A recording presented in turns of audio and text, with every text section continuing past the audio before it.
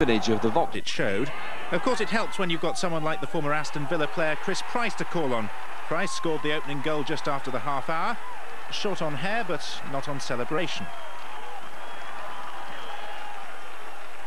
Bromsgrove had started the game as favourites. The state of the pitch didn't help either team, but Cinderford increased their lead early in the second half. Again, Price was involved. This time, Danny Hill followed up. A controversial penalty award allowed Jim Skelding to pull one back for Bromsgrove, but Skelding and co got a scolding afterwards.